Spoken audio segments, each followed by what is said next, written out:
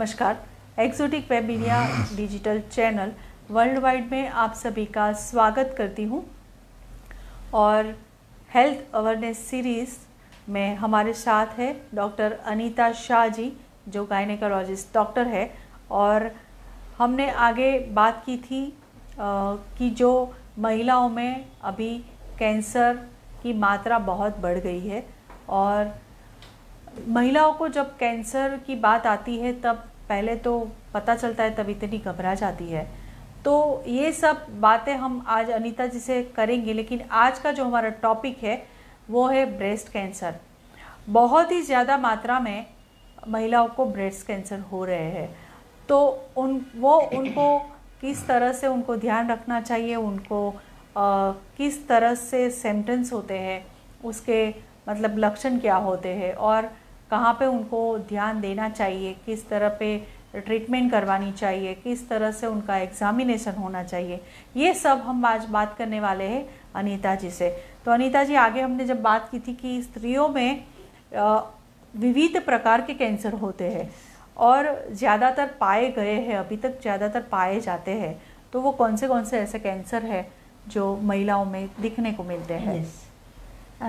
Very good evening friends Uh, first of all, thank you, Yamini, for giving me this opportunity to spread uh, message regarding breast cancer in all the women of uh, this age. Uh, महिलाओं में ज़्यादातर पाए जाने वाले cancer में एक है cervical cancer यानी गर्भाशय के मुख का कैंसर ब्रेस्ट कैंसर यानी स्तन कैंसर गर्भाशय की दीवार का यानी uterine cancer and ovarian cancer as well as vulva यानी योनि मार्ग वगैरह का कैंसर्स जी। अभी यामिनी सबसे पहले आ, आज से आठ दस साल पहले की बात अपन करें तो usually cervical cancer was the first in India western countries में ब्रेस्ट कैंसर वेस्टर्न कंट्रीज़ यानी जो डेवलप्ड डेवलप्ड कंट्रीज़ है। उसमें breast cancer was the first highest but in our India cervical cancer यानी गर्भाशय के मुख का कैंसर अग्रिम स्थान पे था। लेकिन लास्ट फोर फाइव ईयर्स से हम देख रहे हैं कि अपने देश में भी इंडिया में भी breast cancer has reached on the top most level जी जी सो सर्वाइकल कैंसर के बदले हमारे देश में भी अभी ब्रेस्ट कैंसर के पेशेंट ज़्यादातर पाए जाते हैं। जी। और सेकंड नंबर पे सर्वाइकल कैंसर हो गया है। जी। हम अगर ऐसे इंसिडेंट्स देखे तो ऐसा माना जाता है कि डेवलप्ड कंट्रीज़ में हर आठ वीमेन में आठ स्त्रियों में एक स्त्री में गर्भाशय स्तन कैंसर होने का चांस रहता है। जी और जी. हमारे देश में जैसे गिने तो 25 से 30 स्त्रियों के स्त्रियों पैकी एक को ये स्तन कैंसर होने का चांस पाया जाता है। जी जी जी। आ, तो दर्शक मित्र, जो अगर आप लास्ट मतलब अभी अभी जुड़े हैं तो हम बात कर रहे हैं ब्रेस्ट कैंसर और महिलाओं में ये अभी बहुत ही ज़्यादा मात्रा में ब्रेस्ट कैंसर बढ़ गए हैं। लेकिन अगर आप इन ब्रेस्ट कैंसर से बचना चाहते हैं, अगर आपको सही तरह से अगर जानकारी नहीं मिल रही है तो वो काफ़ी हद तक बढ़ भी सकता है और आप नहीं अच्छे होते हो और काफ़ी काफ़ी लेडी को मैंने ऐसा मैम देखा है कि उनका ब्रेस्ट निकालना पड़ रहा है। उनको मतलब जब एक नारी की कहा जाता है कि नारी का वो एक अंग ऐसा है कि उनसे ही उनकी रौनक बढ़ती है उन्हीं से ही वो पहचानी जाती है। तो ये स्तन कैंसर की हम बात करते हैं तो मैम ये बहुत बढ़ गए हैं तो वो किस मात्रा में आ, मतलब स्तन कैंसर होता है वो भी हमारे दर्शकों को आप बताइए। एक्चुअली यामिनी जी हम देखें तो कैंसर का एग्जिट स्तन कैंसर का एग्जिट कारण ऐसा कोई पाया नहीं जाता है। बट सर्टन रिस्क फैक्टर्स यानी जो जोखमी परिबल है वो कौन से कौन से है उसके बारे में हमको जानकारी दर्शक मित्र को देना बहुत ज़रूरी है। जी जी जी मैम स्पेशली uh, ऐसा माना जाता है कि जो स्त्रियों में इस स्तन कैंसर जो है मेन उसका reason excess of estrogen hormone जो एक फीमेल का मेन हार्मोन है उसकी वजह से होता है। हम्म। तो जो स्त्रियों में मासिक स्त्राव बहुत शुरू जल्दी शुरू होता है। यानी यूजुअली हम लोग देखते हैं कि मेनार्की यानी फ़र्स्ट मेंस्ट्रुअल साइकिल शुरू होने की जो टाइम होता है वो usually eight to ten years होता है। अगर लड़की में मा, मासिक स्त्राव बहुत शुरुआत में जल्दी एज में शुरू होता है और मेनोपोज लेट आता है। यूजुअली हमारे देश में मेनोपोजल एज 46 47 इयर्स की गिनी जाती है। हम्म। पर अगर लेडीज़ में स्त्री में मेनोपोज लेट आता है 51 या 55 इयर्स पे आता है दोज फीमेल्स यानी वो स्त्रियों में स्तन कैंसर के चांसेस ज़्यादा होते हैं। दूसरी एक चीज़ जो स्त्रियों स्तनपान नहीं कराती है आजकल हम देखते हैं कि एवरी वुमन अपनी फिगर को डिस्टर्ब नहीं होवे ऐसे बारे में बहुत सारी सोचती है। और बहुत सारे मिथ ब्रेस्ट के बारे में actually breast is a it is formed of fatty tissue as well as milk producing glands और ब्रेस्ट का यानी स्तन का एक मेन स्त्री के लिए उपयोग तो जब बच्चा पैदा होता है तो उसको स्तनपान कराने का है।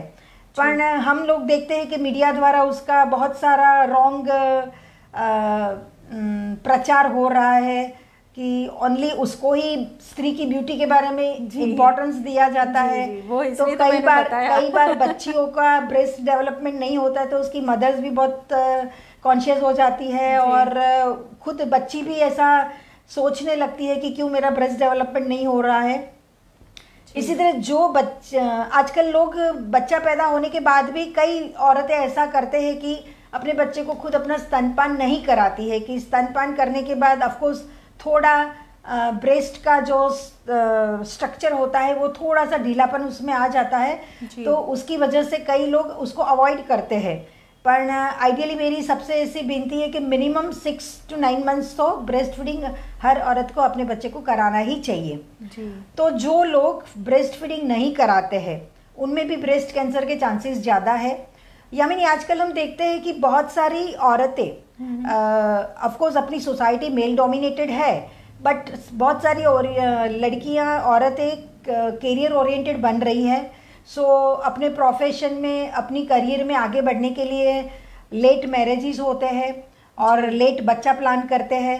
तो those who are being mother after the age of thirty तीस साल के बाद जो पहला बच्चा पैदा करते हैं उन लोगों में भी ये ब्रेस्ट कैंसर के चांसेस ज़्यादा पाए जाते हैं। देन ओबेस पेशेंट आजकल हम देखते हैं कि uh, हमारी लाइफस्टाइल ऐसी हो गई है कि obesity has become very common तो जो लोग ओबेस होते हैं हमारी बॉडी में जो इस्ट्रोजन हार्मोन होता है वो uh, जो शरीर की फैटी टिश्यू होती है उसमें उसका संग्रह पाया जाता है। तो जो स्त्रियों ज़्यादा ओबेस होती है या तो मेनोपोजल एज में जिसका वेट बहुत ज़्यादा बढ़ने लगता है और वो जो ध्यान नहीं देती है तो ऐसे लोगों में भी ये ब्रेस्ट कैंसर होने के चांसेस काफ़ी है। जी। देन पीसीओडी पीसीओडी आजकल हम बहुत यंग गर्ल्स में पाए मीन्स हमारे पास बहुत सारी यंग गर्ल्स आते हैं जिसमें पीसीओडी का प्रॉब्लम प्रॉब्लम्स होता है और बाय रिसर्च ऐसा डिटेक्ट हुआ है कि जो यंग गर्ल्स को अपनी शुरुआत की लाइफ में पीसीओडी होते हैं तो उनको लेटर एज में metabolic syndromes means hypertension diabetes obesity thyroid problems वो सब होने का चांसेस ज़्यादा है। तो पीसीओडी वाले पेशेंट को भी लेटर एज में स्तन कैंसर होने के चांसेस हो सकते हैं। जी जी। एंड देन जो मेनोपोजल हार्मोन थेरापी जिसमें इस्ट्रोजन हार्मोन का उपयोग किया जाता है usually we we are giving it with uh, proper uh, diagnosis and proper मात्रा में उसको देते हैं। But those who which patients don't follow the doctor's advice और अपने मन से ऐसे ही ज़्यादा लेते रहते हैं या उसका जो करेक्ट uh, तरह से उसका जो रीत से उसको जो देना चाहिए उस तरह से नहीं दिया जाए और एक्सेस ऑफ़ इस्ट्रोजन दिया जाए तो उसकी ऐसे पेशेंट को भी कभी कभी वो ब्रेस्ट कैंसर होने के चांसेस रहते हैं। So these are risk factors mainly जी जी uh, जो। स्त्रियों में स्तन कैंसर के लिए वो जवाबदार है। जी जी। तो हमने जो बात की वो स्तन कैंसर किस वजह से होता है और उसके रिस्क फैक्टर क्या है वो हमने आप सबको बताया। अनीता जी ने बहुत ही अच्छी तरह से समझाया कि रिस्क फैक्टर क्या है स्तन कैंसर के लिए और उसकी वजह क्या है। तो आगे चल के हम बात कर रहे हैं कि किन में ये ज़्यादा होते हैं। वो भी हमने शायद बता ही दिया है कि किन किन लोगों को मतलब किस तरह से ये होता है। जी। आजकल क्यों हम ज़्यादा मात्रा में स्तन कैंसर के पेशेंट्स देखते हैं? जी। उसकी वजह यामिनी बताऊँ तो हमारा लाइफस्टाइल जी आजकल हम लोग भी वेस्टर्न कल्चर को फॉलो कर रहे हैं। और हम लोग भी आ, उनकी तरह से हमारा भी लाइफस्टाइल ऐसा सिडेंटरी बन गया है। बैठाडू जीवन हमारा है। हम लोग भी जंक फ़ूड ज़्यादा खा लेते हैं। प्रिजर्वेटिव वाले बहुत सारे चीज़ संग्रह करके रखते हैं और जी, जी, हम सबको भी जब टाइम नहीं मिलता है तो उसका यूज़ कर लेते हैं। बिल्कुल बिल्कुल सही बात है। तो सीडेंटरी लाइफस्टाइल हमारी food habit and lack of exercise आज सबको ऐसा ही है कि मेरे पास कसरत करने का टाइम ही नहीं है। मैं इतनी बिज़ी हूँ कि I don't have time for doing exercise तो एक्सरसाइज नहीं किया जाता है वो और हम लोगों की रहने की खाने पीने की आदत।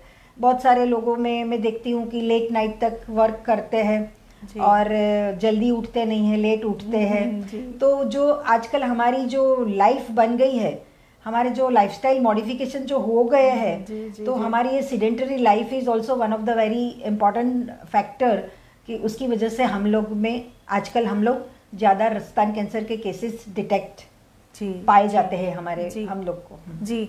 बट इसके बढ़ने के कारण क्या माने जाते हैं? इसके बढ़ने के मेन कारण यही माने जाते हैं कि हम लोगों की लाइफस्टाइल पूरी बदल गई जी, है। जी जी जी। आ, उनके ब्रेस्ट कैंसर के लक्षण क्या होते हाँ, हैं? या that is very important Yamini.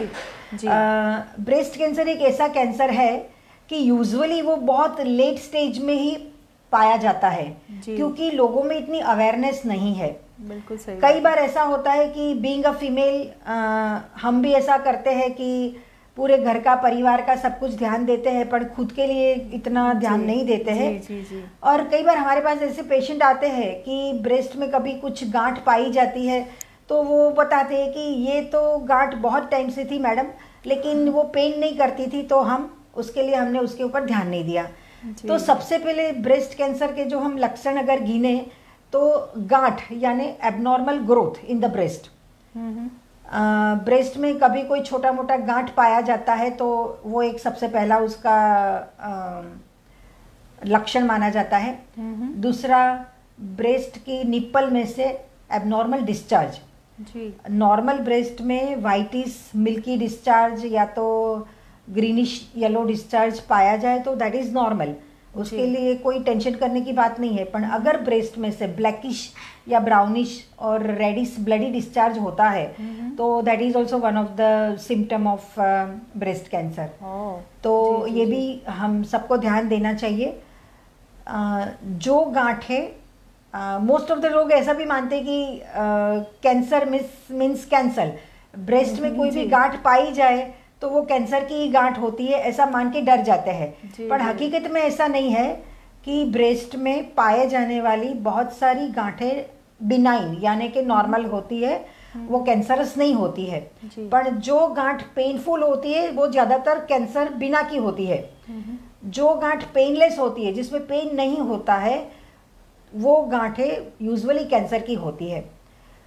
तो ब्रेस्ट में अगर मान लो ब्रेस्ट का साइज़ तुम्हारा एबनॉर्मल रूप से बढ़ रहा हो या तो कभी निपल में से डिस्चार्ज हो रहा हो ब्रेस्ट की जो चमड़ी होती है वो थिक हो जाती है या तो हम्म। संतरा के छिलके जैसी हो जाती है टफ हम्म, हम्म, तो ऐसे भी वो भी वो भी एक ब्रेस्ट कैंसर का लक्षण माना जाता है। दूसरा अपना जो कॉलर बोन होता है कॉलर बोन के पीछे या तो फिर एक्जिला यानी बगल में अगर गांठ पाई जाती है हम्म। तो वो भी एक अग्र लेवल का कैंसर का वो चिन्ह माना जाता है। So these are common symptoms regarding breast cancer जी। जी। और हर औरत को मेरी एक रिक्वेस्ट होगी कि इसी प्रकार का कोई भी सिम्टम्स अगर उनमें हो तो उनको तात्कालिक अपने डॉक्टर को कंसल्ट करना चाहिए। क्योंकि आजकल साइंस इतना आगे बढ़ा है टेक्नोलॉजी इतनी आगे बढ़ी है कि अगर स्तन कैंसर अर्ली केस में डिटेक्ट होता है तो उसको बहुत अच्छी तरह से हम उसका इलाज कर सकते हैं जी जी। और औरत की लाइफ अच्छी तरह से बचा सकते हैं। जी। आ, जी बहुत बहुत धन्यवाद। मैम आपका आपने बहुत ही अच्छी तरह से ब्रेस्ट कैंसर कैसे होता है किस तरह से होता है उसके लक्षण क्या होते हैं काफ़ी सारी बातें हमारी अगर जो महिलाएँ देख रही है ये हमारा लाइव शो तो ज़रूर उनको पता चला होगा कि ब्रेस्ट कैंसर कैसे होता है किस तरह से होता है लक्षण क्या होते हैं। तो ज़रूर अगर आप में अगर ऐसा कुछ है तो ज़रूर अपने डॉक्टर को दिखाना चाहिए।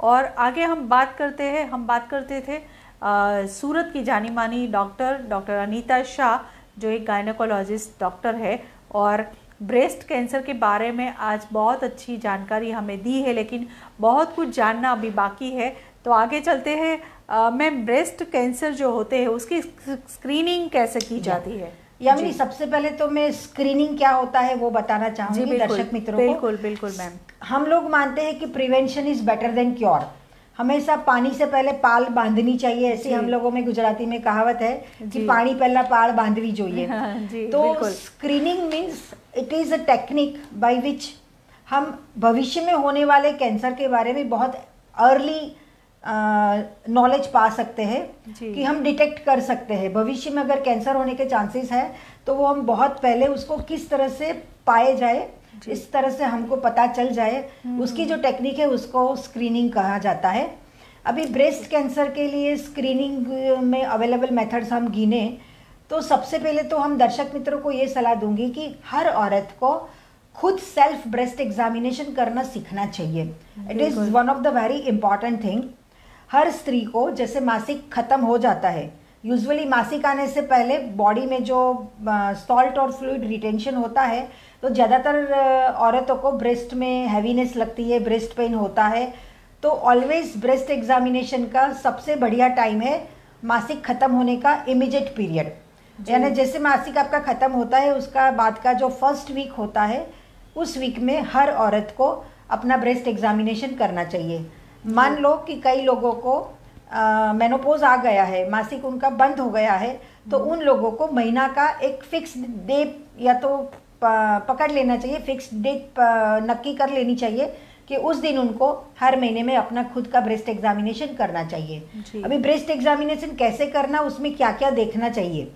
जी मिरर के सामने खड़े रख के हर औरत को अपने दोनों ब्रेस्ट एग्जामिनेशन करने चाहिए कि ब्रेस्ट का साइज़ कैसा है एक ब्रेस्ट बड़ा हो गया हो एक छोटा हो गया हो या एक ज़्यादा टाइट हो गया है एक एकदम लच गया है लूज़ हो गया है वो देखना चाहिए कहीं कुछ उसको ऐसा लगे पालपेट करने में कि उसमें कुछ छोटी मोटी गांठ फील हो रही है हम्म। तो तुरंत उसको नोटिस करके डॉक्टर को कंसल्ट करना चाहिए।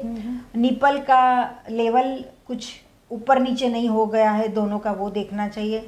निपल में से कोई प्रकार का डिस्चार्ज नहीं है। जैसे मैंने पहले बताया कि संतरा के छिलके जैसी स्किन कभी कभी बन जाती है। ये जो कैंसर ब्रेस्ट होता है उसमें। तो ऐसा कोई चेंजेस नहीं है। कलर चेंज नहीं हुआ है। एरियोला यानी कि निपल के आजू बाजू का स्किन या ब्रेस्ट का वो नोटिस करना चाहिए। और सेल्फ ब्रेस्ट एग्जामिनेशन के लिए बाया ब्रेस्ट एग्जामिन करने के दाया हाथ और दाया ब्रेस्ट एग्जामिन करने के लिए बाया हाथ यूज़ करना चाहिए। और ब्रेस्ट एग्जामिन करने के लिए ये अपनी जो हथेली है उसको धीरे से पूरे ब्रेस्ट में घुमाना चाहिए clockwise as well as anti clockwise direction में। हम्म। अगर आप धीरे धीरे उसको इस तरह से घुमाओगे तो छोटी मोटी भी कुछ गांठ होगी तो आप तुरंत उसको नोटिस कर पाओगे। दबाने से उसका ऐसा आपको पता नहीं चल पाएगा बट जेंटल एग्जामिनेशन करने से from clockwise direction direction and anti clockwise direction as well as from nipple to lateral part on each breast examination करने से कुछ भी एबनॉर्मालिटी होती है तो उसमें पता चल जाता है। जी जी। Second screening method is examination of the breast by gynaecologist मेरी हर औरतों को सलाह है usually specially after the thirty five forty years के बाद वाली स्त्रियों क्योंकि जैसे पहले भी हमने बताया था कि ये cervical cancer breast cancer uterine cancer all most of the cancer usually thirty five forty years के बाद में कॉमनली पाए जाते हैं। तो फोर्टी ईयर्स के बाद में हर औरत को आ, साल में एक बार गायनेकोलॉजिस्ट के पास जाके ब्रेस्ट एग्जामिनेशन करवाना चाहिए। क्योंकि ब्रेस्ट एग्जामिनेशन करने से जो कुछ एबनॉर्मालिटी आप खुद नहीं पा सकते हो वो डॉक्टर बेटर वे में जानकारी पा सकता है और आपको उसके बारे में बता सकता है। जी जी जी। तो और जहाँ मेमोग्राफी उसके बारे में आपको मैं बाद में बता रही हाँ, हूँ। जी जी जी। उसकी सगवड़ नहीं होती है। जैसे बहुत रिमोट एरिया है बहुत विलेज प्लेस है जहाँ इस प्रकार की सुविधा नहीं होती है वहाँ self breast examination as well as breast examination by a gynaecologist बहुत कीमती माना जाता है। जी जी जी। यूजुअली एक्चुअली हमको सब यंगस्टर्स को भी सलाह देना चाहिए कि 20 18 20 साल से अपना खुद ब्रेस्ट एग्जामिनेशन करना शुरू कर देना चाहिए। तो they may be aware of the tissue of your their breast कि उनका ब्रेस्ट का स्ट्रक्चर कैसा है अगर उनको पता है तो ही फिर बड़े होने के बाद में उनको पता चल सके कि उनके ब्रेस्ट में क्या चेंजेस हो रहे हैं। अगर कभी देखा ही नहीं हो उसको छुआ ही नहीं हो तो यूजुअली उनको भी फिर कुछ एबनॉर्मालिटी होती है तो डिटेक्ट करने में तकलीफ़ तकलीफ़ होती है। सो सेल्फ एग्जामिनेशन जैसे हम हर साल बर्थडे सेलिब्रेट करते हैं एनिवर्सरी सेलिब्रेट करते हैं उसी तरह साल में एक बार गायनेकोलॉजिस्ट के पास जा जाना ज़रूरी है। और गायनेकोलॉजिस्ट के पास ब्रेस्ट एग्जामिनेशन कराना भी बहुत ज़रूरी है। अभी थर्ड इंपॉर्टेंट थिंग है मेमोग्राफी जी जी। मेमोग्राफी से बहुत सारे लोग यामिनी बहुत डरते हैं। हम कभी कभी पेशेंट को भी एडवाइस देते हैं ना तो पेशेंट्स यूजुअली घबराते कि नहीं मेमोग्राफी में तो बहुत पेन होता है। It is a very dangerous process और हम नहीं कराएँगे। इस तरह से डरते हैं। पर मेरी सब दर्शक मित्र को विनंती है कि ब्रेस्ट मेमोग्राफी एक स्पेशल मशीन से उसमें तपास की जाती है और उसमें ब्रेस्ट को ऑफ़ कोर्स कॉम्प्रेस किया जाता है अ, वो मशीन जो होता है उसके बीच में। बट उसमें इतना ज़्यादा कोई तकलीफ़ नहीं होता है इसके लिए डरने वाली कोई बात नहीं होती है। उसमें कुछ बेहोश वगैरह करने की ज़रूरत नहीं होती है या दूसरा कोई अ, अ, दूसरा कोई इंजेक्शन देने की या वो कुछ करने की ज़रूरत नहीं होती। है simple it is a little bit compression is given to the breast tissue and mammography is done जी। बहुत सारे लोग ऐसे- करते हैं उसी तरह से सेल्फ मेमोग्राफी होगी। सॉरी सोनोग्राफी जैसे हम करते नहीं सोनोग्राफी में पेशेंट को टेबल पे लेटा के सोनोग्राफी यूजुअली सोनोमेमोग्राफी किया जाता है। ब्रेस्ट के लिए जो होती है उसको सोनोमेमोग्राफी कहते हैं। थर्टी इयर्स के पहले वाली जो भी औरतें हैं उसको मेमोग्राफी हम यूजुअली नहीं एडवाइस करते हैं। हम उनके लिए सोनोमेमोग्राफी करते हैं। अगर उसमें कुछ एबनॉर्मालिटी है देन ओनली मेमोग्राफी भी एडवाइस करते हैं। यूजुअली मेमोग्राफी हम फोर्टी ईयर्स के बाद एडवाइस करते हैं। जी जी जी। और दूसरा एमआरआई के ज़रिए भी हम बहुत कुछ चीज़ें ब्रेस्ट के लिए जान सकते हैं। But that depends upon the complaint and है, जो भी कुछ होते हैं उसके ऊपर डिटेक्ट होते हैं। अभी मेमोग्राफी करने से पहले अ, थोड़ी औरतों को ध्यान रखना चाहिए कि यूजुअली विटामिन ए सी ई की कोई टैबलेट लेते हो या तो सेलेनियम की टैबलेट लेते हो तो उनको दो तीन दिन पहले वो बंद कर देनी चाहिए क्योंकि उसमें कभी नहीं तो फिर आर्टिफेक्ट आती है। Oh. Usually deodorant deo use करते हैं आजकल most of the ladies and gents सब तो डीओ उसके पहले यूज़ नहीं करना चाहिए क्योंकि उसकी वजह से कभी कभी आर्टिफेक्ट आती है। जी जी जी। तो ये थोड़ी चीज़ें ध्यान रख के यूजुअली जिनको हम मेमोग्राफी भी एडवाइस करते हो यूजुअली पीरियड खत्म होने के बाद फ़र्स्ट वीक में एडवाइस करते हैं ताकि। उसका ब्रेस्ट का भी पूरा अच्छी तरह से उसमें पिक्चर आया जाए जी, जी, और जी। कुछ उसमें एबनॉर्मालिटी है तो डिटेक्ट हो सकती है। जी तो आ, ये हम बात कर रहे थे ब्रेस्ट कैंसर में मेमोग्राफी किसको करानी चाहिए? किस तरह हाँ से? यामिनी ये बताऊँ मैं जी किसको कि करानी चाहिए वो इम्पोर्टेंट मेमोग्राफी आइडियली किस किस को करानी चाहिए? Mammography usually for each and every woman after the age of 40 साल में एक बार तो करानी ही चाहिए because that is a screening test for early detection of breast cancer साथ साथ में जो औरतों को जो स्त्री के मम्मी को बहन को मौसी को दादी को ब्रेस्ट कैंसर हुआ हो हम्म, तो उन लोगों को भी मेमोग्राफी करानी ज़रूरी है। जी। क्योंकि of course it is not always genetical disposition होता है but eight to ten percent में जेनेटिक फैक्टर्स भी उसमें इन्वॉल्व होते हैं। ऑफ़ कोर्स अगर आपके लेटर मींस दूर के रिश्तेदारों में हुआ होता है तो वो ज़्यादा इम्पोर्टेंट नहीं है। पर आपके एकदम इमिडिएट रिलेटिव में अगर ब्रेस्ट कैंसर हुआ है जी, तो जी, उन जी। लोगों को खास करके ध्यान देना चाहिए। जी जी अगर एक ब्रेस्ट में किसी को ब्रेस्ट कैंसर हुआ है तो वो औरत को दूसरे ब्रेस्ट में भी ब्रेस्ट कैंसर होने के चांसेस होते हैं। तो ऐसी औरतों को भी मेमोग्राफी इवन ब्रेस्ट कैंसर का ट्रीटमेंट लेने के बाद में दूसरे ब्रेस्ट के लिए करानी चाहिए। जी जी जी। बस उनको मतलब कब करवानी चाहिए और किसको करवानी चाहिए? मतलब कौन से ऐसे सिम्टम्स हो या ऐसा कुछ होता है कि कब ये मेमोग्राफी करवानी यूजुअली मेमोग्राफी मैंने बताया ना यामिनी हाँ, के पीरियड खत्म होने के बाद बाद करानी इमीडिएटली करानी चाहिए जी, और जी। 40 साल के बाद यूजुअली सबको करानी चाहिए। जी जी। अगर ब्रेस्ट कैंसर हुआ या तो आया है तो उसकी ट्रीटमेंट फिर किस तरह के होती है? Right right. जी।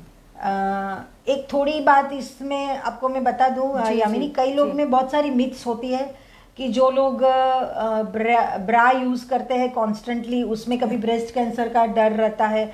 कई लोग ऐसे सोचते हैं कि वो वायर वाली ब्रा यूज़ करते हैं उसमें इस प्रकार की तकलीफें होती है।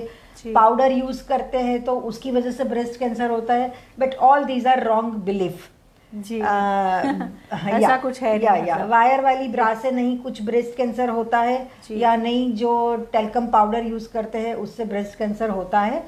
So these are wrong myths in the public जी जी जी। ब्रेस्ट कैंसर की ट्रीटमेंट के बारे में बताऊँ? तो मोस्ट ऑफ़ द पीपल ऐसे डर ही जाते हैं कि हमको एक बार कैंसर होगा तो पूरा हमारा ब्रेस्ट निकाल देना पड़ेगा। जी, और uh, जैसे हमने पहले बताया कि जी, जी, जी, every it is a very breast is always dear to a female we can say like that so हर औरत को चिंता होती है कि अगर मुझे ब्रेस्ट कैंसर हुआ तो उसकी वजह से मेरा ब्रेस्ट पूरा निकाल देना पड़ेगा। लेकिन अभी एडवांस टेक्नोलॉजी इतनी अच्छी सब हुई है यामिनी कि अभी अगर कैंसर ब्रेस्ट कैंसर अगर बहुत अर्ली स्टेज में डिटेक्ट होता है तो उसका लिमिटेड पार्ट ही उसका निकाला जाता है। हम्म। पूरा ब्रेस्ट को सेक्रीफाइस नहीं किया जाता है। जी जी जी। और अगर मान लो बाई चांस पूरा ब्रेस्ट कभी कभी डिपेंडिंग अपॉन सेक्रीफाइस करना भी पड़े यानी निकालना भी पड़े तो देन ऑल्सो नाउ बहुत सारी कॉस्मेटिक सर्जरीज है। जिसके ज़रिए आप न्यू ब्रेस्ट भी फॉर्म कर सकते हैं। या तो those who can who are unable to afford for that they can also use silicone cups वगैरह आते हैं या तो इस प्रकार की पैडेड ब्रा आती है वो यूज़ करके अपना व्हाट वी कैन से अपना um, मतलब अपनी जो अपना सौंदर्य मेंटेन कर सकते हैं कर सकते हैं। feel like that जी। सो ब्रेस्ट कैंसर के बारे में उसकी ट्रीटमेंट के बारे में यहाँ दर्शकों को इतना ज़्यादा अभी बताना ज़रूरी नहीं है बट ब्रेस्ट कैंसर की ट्रीटमेंट में सर्जरी होती है। उसके बाद depending upon the type of the cancers हम्म। उसके लिए टाइप के मुताबिक आगे उसको फिर रेडियोथेरापी दी जाती है कीमोथेरापी दी जाती है और दूसरी depending upon the hormone therapy भी दी जाती है। जी जी।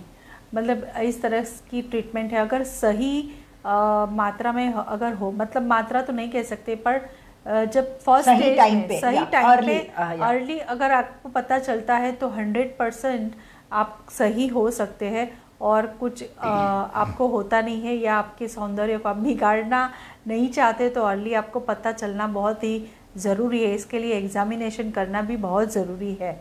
और ब्रेस्ट कैंसर के बारे में हमने आज बहुत कुछ जानकारी दी है और अनीता जी ने भी बहुत अच्छी जानकारी दी है। बट अनीता जी और अ, हमारे जो महिला दर्शक है जो आज हमारा ये टॉपिक था कि ब्रेस्ट कैंसर काफ़ी मात्रा में महिलाओं को होता है तो एक ऐसी हम कोई टिप्स देते कि जिससे वो हमारी महिलाओं को ऐसे पता चले कि ब्रेस्ट कैंसर से हमें कैसे बचना है। अ, सबसे पहले तो मैं सबको दर्शक मित्र को ये सलाह देना चाहूँगी कि ब्रेस्ट में स्तन में पाई जा पाए जाने वाली हर गांठ कैंसर की नहीं होती है।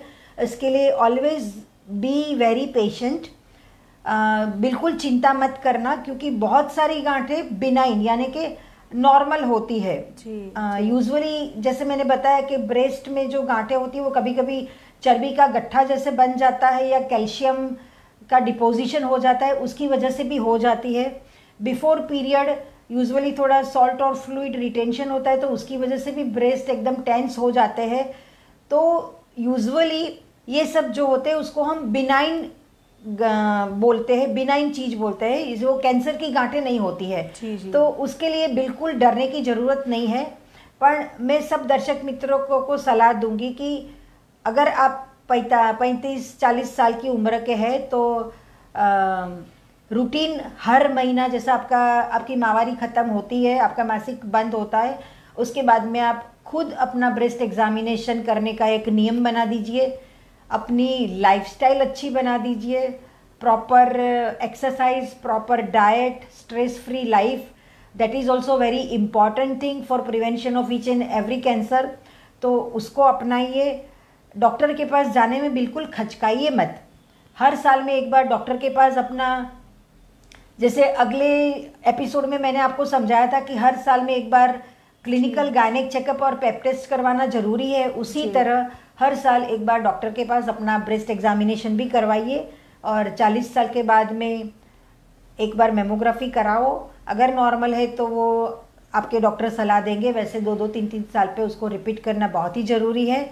उसको बिल्कुल उसमें खचकाइए मत उसमें हेजिटेट मत होइए। मेमोग्राफी से कोई तकलीफ़ नहीं होती है इतनी। या उससे कोई आपको नुकसान नहीं होता है। ऑन द कंट्ररी इफ़ बहुत अर्ली स्टेज में कैंसर अगर डिटेक्ट होता है तो उसका लिमिटेड ऑपरेशन से आप अपने ब्रेस्ट को भी बचा सकते हो और अपनी पूरी ज़िंदगी अच्छी तरह से जी सकते हो। जी। जी, अनीता जी बहुत बहुत धन्यवाद आपका। बहुत ही अच्छी तरह से आपने ब्रेस्ट कैंसर के बारे में बताया है और महिलाओं को आज जिस तरह से जानकारी आपने दी है, बहुत ही इम्पोर्टेंट थी क्योंकि ये ब्रेस्ट कैंसर के बारे में बात थी आज। तो ऐसे ही हम हेल्थ अवेयरनेस शो में आ, हमारे चैनल के द्वारा हर वीक हेल्थ अवेयरनेस की सीरीज़ में अलग अलग टॉपिक के पे और अलग अलग मतलब बहुत सारे सूरत के नामांकित डॉक्टर यहाँ पे आते हैं और अच्छी तरह से अवेयरनेस शो हम यहाँ से आपको लेके आते हैं। तो ज़रूर हमारे साथ जुड़े रहिए। ऐसे ही फेसबुक पे और यूट्यूब चैनल इंस्टाग्राम वेबसाइट हमारे साथ सभी सोशल साइट्स पे जुड़े रहिए और ऐसे ही अवेयरनेस के शो देखते रहिए। अनिता जी अनिता जी फिर से धन्यवाद आपका। हम फिर से मिलेंगे। तब तक के लिए नमस्कार।